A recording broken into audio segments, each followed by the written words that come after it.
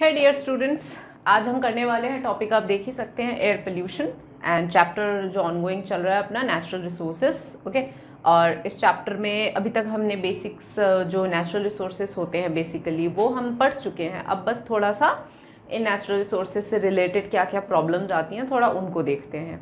अच्छा हमने पहले क्या पढ़ा था? रिन्यूएबल नॉन रिन्यूएबल रिसोर्सेज जो एग्जॉस्टेबल इन एग्जॉस्टेबल रिसोर्सेज हैं, वो सब करा था हमने, जिसमें हमने देखा था कि ये जो हमारे एयर पोल्यूशन है सॉरी नॉट एयर पोल्यूशन जो एयर है वाटर है, ये सब रेन्यूएबल रिसोर्सेज में आ जाते हैं, है ना?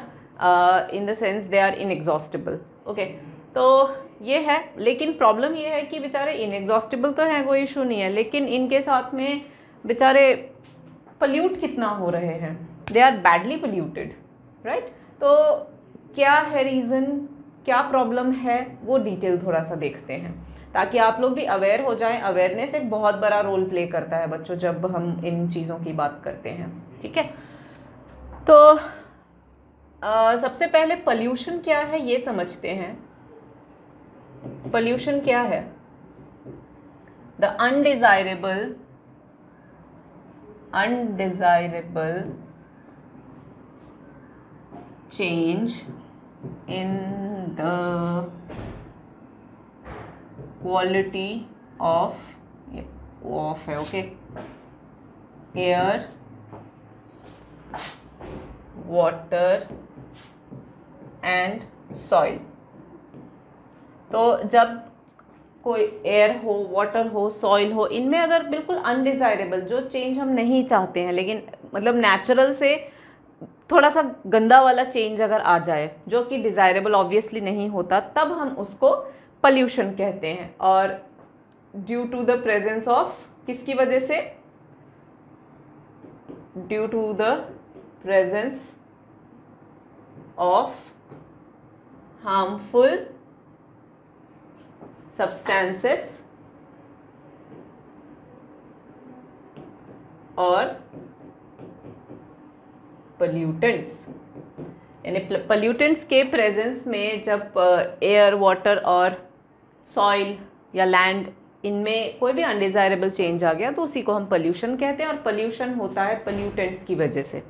ओके तो देखते हैं एयर पल्यूशन किससे होता है। तो बस अगर आप एयर पल्यूशन को डिफाइन कर रहे हैं तो आपको बस change in the quality of only air लिखना है वाटर सॉइल हटा सकते हो। और इसके लिए जो भी पल्यूटेंट्स होंगे, वो क्या क्या पल्यूटेंट्स हो सकते हैं बच्चों, जो एयर को पल्यूट करते हैं? तो पहला है पल्यूटेंट्स ऑफ़ एयर ठीक है एयर पल्यूटेंट्स देख रहे हैं हम। तो पहला है अनबर्नड हाइड्रोकार्बन्स बच्चों अनबर्न हाइड्रोकार्बन्स क्या है? देखो फॉसिल फ्यूल्स जब अनबर्नड होते हैं मेनली इसका सोर्स फॉसिल फ्यूल्स होते हैं तो फॉसिल फ्यूल्स अनबर्नड होते हैं ना, तब ये निकलते हैं। और इससे निकलता है मतलब इसका जो प्रोडक्ट होता है, फिर वो कार्बन मोनोऑक्साइड है ये। ठीक है? कार्बन मोनोऑक्साइड तो अनबर्न से मतलब फॉसिल फ्यूल्स जब बर्न होते हैं तो कार्बन मोनोऑक्साइड जैसे हार्मफुल केमिकल्स निकलते हैं और फिर हाँ हाँ कार्बन मोनोऑक्साइड क्या करता है? ये बेसिकली हम हम जो ऑक्सीजन ब्रीद इन करते हैं ना बच्चों तो ऑक्सीजन को ट्रांसपोर्ट जो है वो हीमोग्लोबिन करता है हमारी बॉडी में। हर एक सेल को ऑक्सीजन की रिक्वायरमेंट होती है ताकि वो एनर्जी ले सके। तो उस पूरी सेल में, पूरी बॉडी में ऑक्सीजन ट्रांसपोर्टेशन हीमोग्लोबिन करवाता है ताकि हमारी बॉडी एनर्जी ले सके और हम फुर्ती से सारा काम कर सके, हमारे सारे लाइफ प्रोसेसेस नॉर्मल चले। अच्छा अब क्या होता है कि एटमॉस्फेयर में अगर ये कार्बन मोनोऑक्साइड की क्वांटिटी बढ़ गई तो हम क्या इनहेल करेंगे? कार्बन मोनोऑक्साइड तो ज़्यादा से ज़्यादा कार्बन मोनोऑक्साइड अगर बॉडी में चला गया तो क्या प्रॉब्लम आ जाएगी? तो ये प्रॉब्लम आ जाएगी कि instead of oxygen transportation by haemoglobin हमारा हीमोग्लोबिन कार्बन मोनोऑक्साइड ट्रांसपोर्टेशन करने लग जाएगा। और फिर उससे क्या प्रॉब्लम आएगी? उससे फिर बॉडी में कार्बन मोनोऑक्साइड पॉइजनिंग हो जाएगी और दस तरह की बीमारियाँ हो जाएँगी। ये प्रॉब्लम है। तो carbon monoxide is very bad really bad ठीक है? दूसरा है oxides of नाइट्रोजन, सल्फ़र। तो सल्फ़र, नाइट्रोजन, ये जैसे कि नाइट्रोजन ऑक्साइड्स हैं NO2 है है ना? नाइट्रोजन ऑक्साइड हो गया, sulphur dioxide, sulphur trioxide SO2 हो गया SO3 हो गया। तो ये जो भी हैं these all are very bad pollutants ठीक है? और नाइट्रोजन डाइऑक्साइड भी आ जाएगा इसी में। और इससे फिर बॉडी में अगर चीज़ें गई तो फिर अननेसेसरी हेल्थ प्रॉब्लम्स दूसरे आ जाते हैं रेस्पिरेटरी इश्यूज़ आ सकते हैं बच्चों, ठीक है?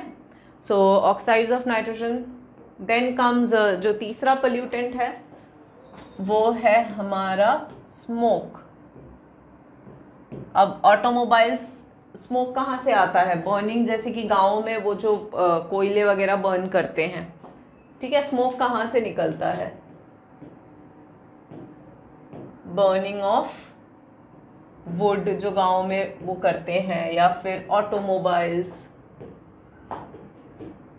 तो ये सोर्स हैं मतलब स्मोक प्रोडक्शन के। ठीक है, और इससे फिर निकलते हैं हार्मफुल जैसे कि सल्फ़र डाइऑक्साइड आर्सेनिक इस तरह के हार्मफुल वो निकलते हैं बच्चों गैसेस ओके और उन हार्मफुल गैसेस से फिर हमारी को प्रॉब्लम आती है। तो मेन ये है कि हवा में इतनी गंदगी, अब हवा का कॉम्पोजिशन मैंने आपको पढ़ाया है कि 78 परसेंट नाइट्रोजन होना चाहिए 21 परसेंट ऑक्सीजन होना चाहिए एंड 0.03 CO2 होना चाहिए और फिर कॉन्ट्रीब्यूटरी गैसेस जो आर्गन नियॉन है, ये सब कुछ ट्रेस अमाउंट्स में। तो ये बेसिक एक क्लीन एयर का कंपोनेंट है। अब इसमें भर गया है दुनिया भर के सस्पेंडेड पार्टिकल्स है ना? दुनिया भर के सस्पेंडेड पार्टिकल्स हो चुके हैं। ये बहुत छोटे पार्टिकल्स होते हैं जो एयर में घूमते रहते हैं और हम इनहेल और कर लेते हैं। Very small particles suspended particles क्या है?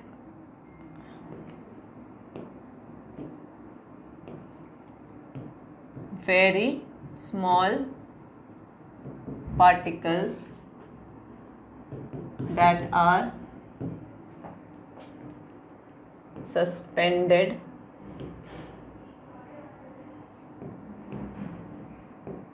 in air that are suspended in air and can even be inhaled मतलब इतना है कि बार बार आप ये गंदा एयर जो है वो इनहेल भी कर लेते हो। तो एयर पोल्यूशन में सबसे बड़ी प्रॉब्लम यही तो है बर्निंग ऑफ़ वुड ऑटोमोबाइल से स्मोक इनहेल कर रहे हैं सस्पेंडेड पार्टिकल्स इनहेल हो जाते हैं। उसके अलावा एरोसॉल्स हैं। एरोसॉल्स क्या हैं? एरोसॉल्स भी पार्टिकल्स के साथ पार्टिकल्स प्लस स्मॉल ड्रॉपलेट्स छोटे छोटे जो वेपर के ड्रॉपलेट्स होते हैं ना, वो चीज़ हो जाती है, जैसे कि सी एफ़ सीज़ हैं। सी एफ़ सीज़ क्या है? क्लोरोफ्लूरोकार्बन्स इसके बारे में आप पढ़ोगे अभी और, इस चैप्टर में। ये रेफ्रिजरेटर्स से निकलते हैं ए जो भी कूलेंट होता है ना, उससे निकलते हैं। तो जो भी कूलेंट होता है, उनसे निकलते हैं, बहुत प्रॉब्लमेटिक होते हैं। ज़्यादा AC cooler not cooler AC refrigerator jet planes उनमें से निकलते हैं ये। तो वहाँ दिक्कत आते हैं। तो इससे क्या है ओजोन लेयर पे सीधा सीधा खतरा आता है। तो इस तरीके से बच्चों ये सोर्सेस ऑफ़ एयर पोल्यूशन है। तो इतना ज़्यादा मतलब एयर जो है वो पोल्यूट करते हैं। अब इससे इफ़ेक्ट्स क्या क्या हो सकते हैं? सोर्सेस तो ये सारे हो गए। ठीक है? आ, इसके इफ़ेक्ट्स क्या हो सकते हैं? तो इफ़ेक्ट्स में आप पढ़ेंगे इफ़ेक्ट्स तो बहुत सारे हैं। Human health is affected badly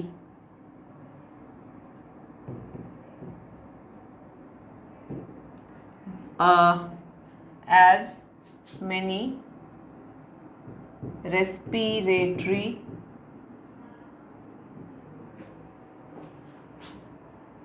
disorders are caused ठीक है, बहुत सारे रेस्पिरेटरी डिसऑर्डर्स कॉज हो जाते हैं। S O two N O two combine ये दोनों मेजर पल्यूटेंट्स हैं, ठीक है? Now they combine with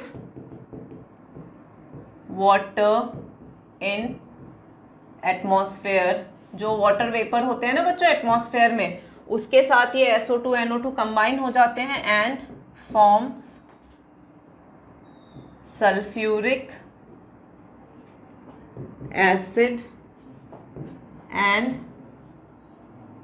nitric acid ठीक है? They form sulphuric acid and nitric acid and when it rains rains, these acids also fall down as acid rain इसी को acid rain बोलते हैं, क्योंकि एटमॉस्फेयर में खूब सारा NO2 SO2 बन चुका है। अब वो एटमॉस्फेयर के वाटर या वाटर वेपर से कंबाइन हो जाते हैं and then form sulphuric acid and nitric acid और फिर ये, जब बारिश होती है तो ये एसिड्स बारिश के साथ साथ नीचे आते हैं। And they fall down as rain और उसी को हम एसिड रेन कहते हैं। ताजमहल का जो करोजन हुआ है, जो मार्बल उसका इतना वाइट है, जो ऐसे बिल्कुल डार्क हो गया है that is because of acid rain तभी तो ताजमहल के आसपास के जितनी भी फैक्ट्रीज थे, उन सबको बंद करवाया गया है बच्चों। दिस वॉज़ सोचो इतना सीवियर इफ़ेक्ट था एयर पोल्यूशन का।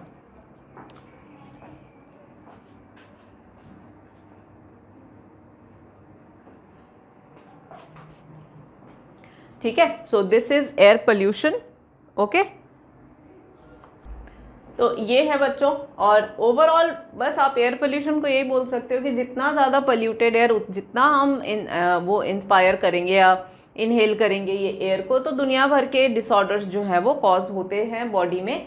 डिसऑर्डर्स आर कॉज जैसे कि मैंने लिखा है लाइक हार्ट डिजीजेस हो सकते हैं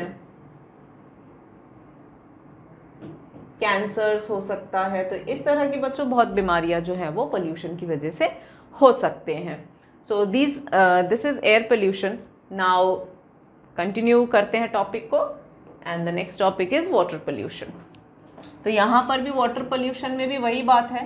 That is undesirable change in the quality of water ठीक है? अब देखो अर्थ पे आप सोचो, कितना पानी है बच्चों? थ्री फोर्थ पार्ट जो है वो वाटर से भरा है। अर्थ का three fourth portion is covered with water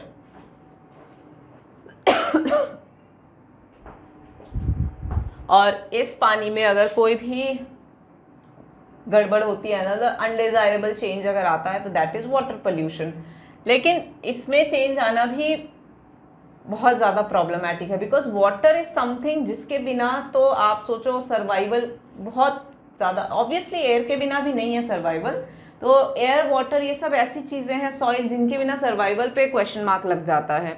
और लेकिन यही चीज़ें पल्यूट हो रही हैं, सोचो। अब वाटर की आप अगर वो देखो रिक्वायरमेंट्स देखें तो एंडलेस रिक्वायरमेंट है। Water is important as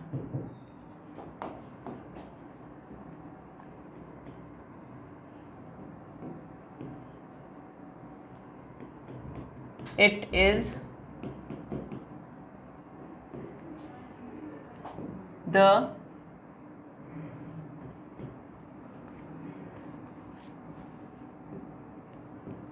it is the constituent of protoplasm जो हमारे सेल है, उसका मेन कॉन्स्टिट्यूएंट है ये। ठीक है? दूसरा it is the universal solvent many terrestrial and aquatic organisms reproduce using water मतलब सीधा सीधा लाइफ रिलेटेड वो है all the household industrial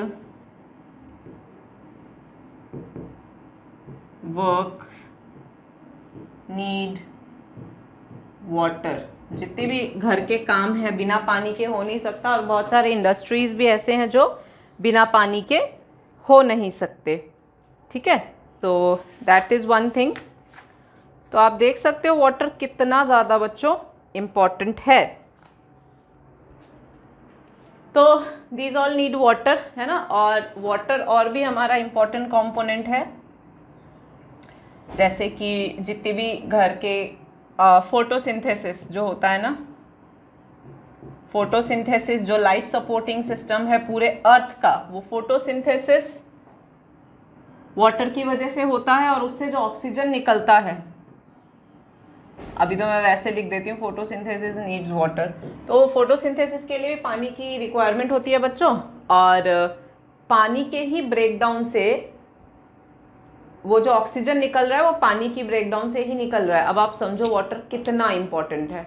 Okay so these are the main so need of water तो अब वाटर इतना मतलब ये तो कम ही है, और सोच लो आप बहुत, हर जगह कहाँ नहीं रिक्वायर्ड है पानी, आप ये सोचो। है ना? ज़िंदा रहने के लिए ज़रा सा एक दिन पानी कम पियो तो इवन हेडेक्स वगैरह हमारे को होने लग जाते हैं, अगर कम पानी पीते हैं तो। तो पानी तो हर जगह है। प्रॉपर सर्वाइवल चाहिए तो पानी तो इज़ नीडेड बैडली राइट तो ये तो पानी की आपकी रिक्वायरमेंट्स हो गई और क्यों वाटर इंपॉर्टेंट है? अब आप सोचो लाइफ सपोर्टिंग मटीरियल है। अब इसको अगर हम पल्यूट कर देंगे तो फिर कहाँ जाएँगे हम? और वैसे ही पानी का शॉर्टेज हो रहा है। तो एक तो पानी का शॉर्टेज वैसे हो रहा है, ऊपर से हम पल्यूट भी कर रहे हैं तो हम कहाँ जाएँगे बच्चों? वो वाली चीज़ है ना? सो लेट्स चेक आउट क्या रीजंस है. Sources sources of water pollution तो पहला तो है डोमेस्टिक सीवेज जो भी डोमेस्टिक सीवेज है ऑब्वियसली घर का सीवेज है, वो घर की जितनी भी वाटर है देन डोमेस्टिक डिटर्जेंट्स वाला जो वो है। डिटर्जेंट्स। मतलब जो बाथरूम वाटर है पूरा, वो सब चीज़ें जो है वो पानी में ही जाता है। Then third is industrial effluent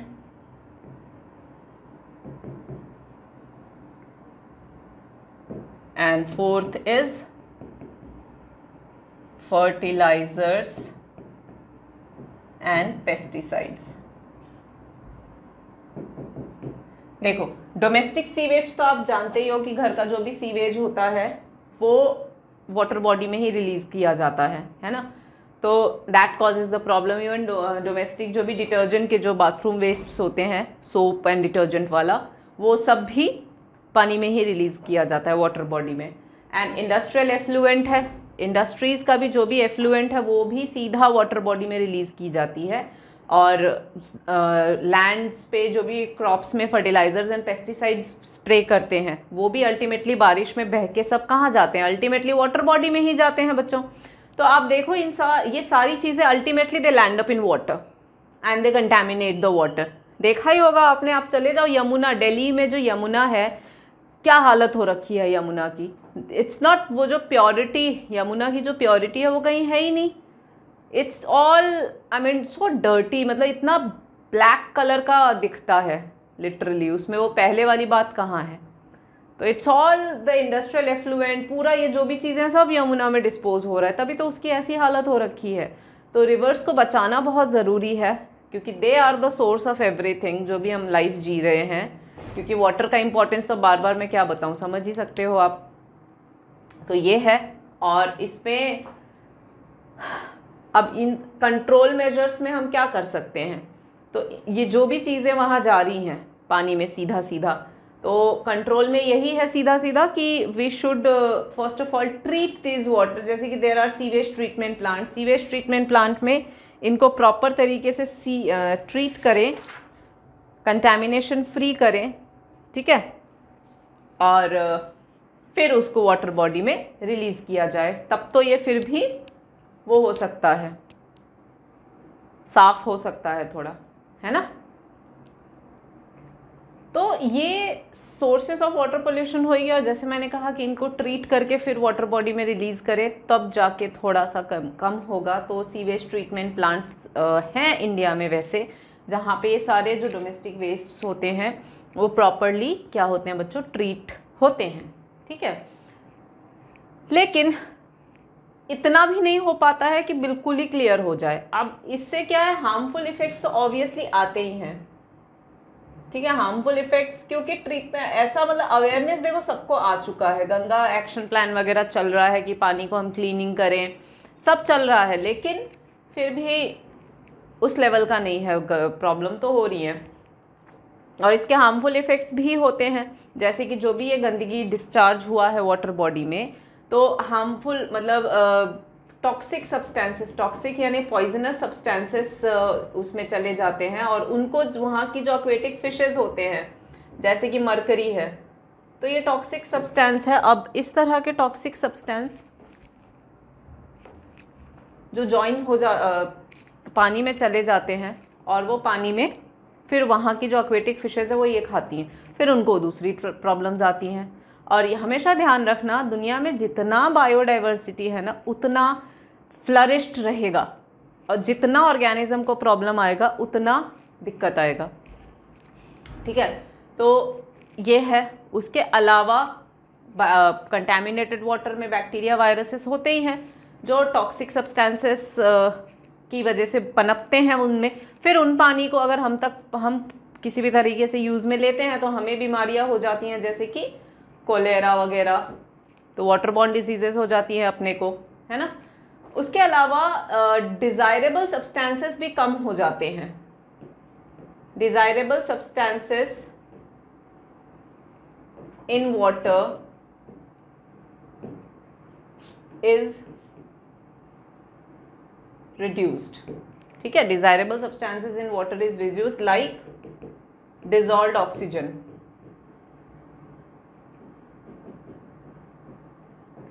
तो होता क्या है कि देखो, पानी में डिजॉल्व ऑक्सीजन होता है बच्चों, ओके, और वो डिजॉल्व ऑक्सीजन क्या करता है? अक्वेटिक ऑर्गेनिज्म उसी डिजॉल्व ऑक्सीजन को यूज़ करके अपनी लाइफ को सपोर्ट करते हैं, ओके। अच्छा अब क्या हुआ? अब टॉक्सिक सब्सटेंसेस रिलीज़ कर दी गई पानी में। तो अब उससे क्या होगा? डिजॉल्व ऑक्सीजन जो है वो बिल्कुल लो हो जाएगा। ओके अब लो हो जाएगा तो सोचो ऑक्सीजन की कमी होने से वहाँ के ऑर्गेनिजम्स को प्रॉब्लम होगा कि नहीं होगा? ऑफकोर्स होगा। तो ये प्रॉब्लम आ जाती है। तो डिजोल्व ऑक्सीजन बिल्कुल नीचे चला जाता है। इंस्टेड बढ़ क्या जाता है? B O D is increase और बी ओ डी जितना इंक्रीज रहेगा, उतना गंदा पानी वो होगा। बी ओ डी का मतलब है बायोकेमिकल ऑक्सीजन डिमांड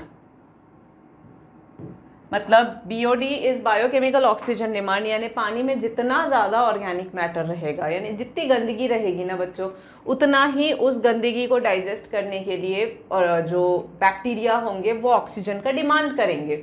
यानी बहुत सारे बैक्टीरिया बहुत सारा ऑक्सीजन वो डिमांड कर रहे हैं ताकि पानी की ऑर्गेनिक चीज़ों को डाइजेस्ट कर सके, यानी कि पानी उतना ही गंदा है।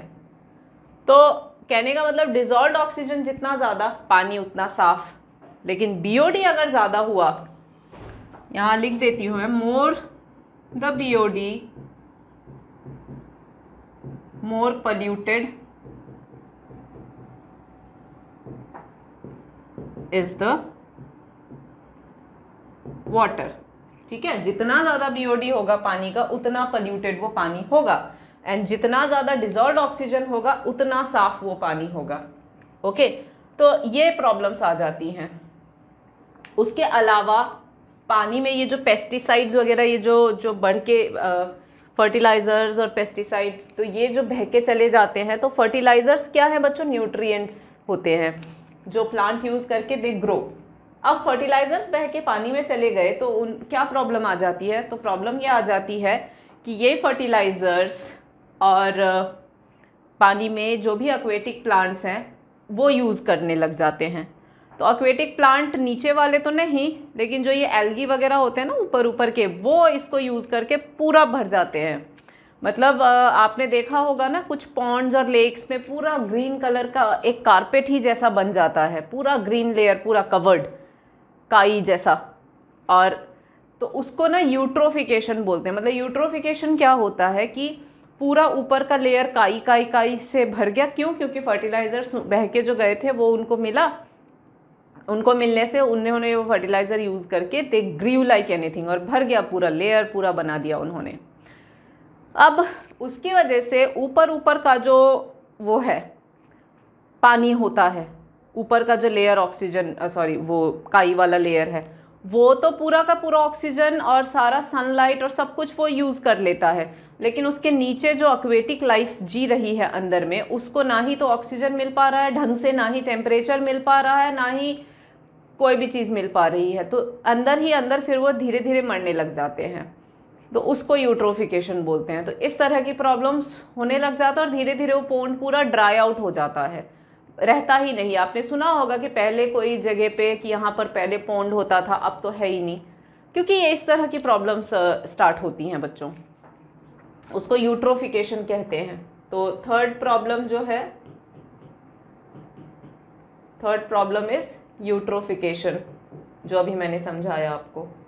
ठीक है तो इस तरह की प्रॉब्लम्स आती हैं तो water ultimately should be properly एक तो क्लीन ड्रिंकिंग वाटर ऑब्वियसली हमें यूज़ करने को बोला जाता है, लेकिन मिले तो इतना सारा गंदगी और पेन तो इंडस्ट्रियल एफ्लुएंट उसमें डायरेक्टली जा रहे हैं। सीवेज तो खैर ट्रीटमेंट होके जाते हैं बट कई जगहों पे सीवेज ट्रीटमेंट होता नहीं है। डायरेक्ट उसमें वाटर बॉडी में उनको रिलीज़ किया जाता है। तो है प्रॉब्लम्स तो हैं ही बच्चों।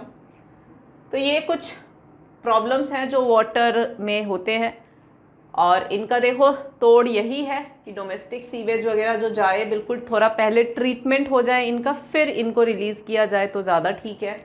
है ना? ये सब, सभी चीज़ का वही है कि पहले ये सारे वाटर जो है प्रॉपरली ट्रीट हो जाए, फिर ये लोग वाटर बॉडी में जाएँ, क्योंकि एक्चुअली बेटा पानी जैसा रहेगा ना वहाँ का जो डिस्ट्रीब्यूशन ऑफ़ ऑर्गेनिज्म होगा, वो पानी के ऊपर पूरा डिपेंड करेगा।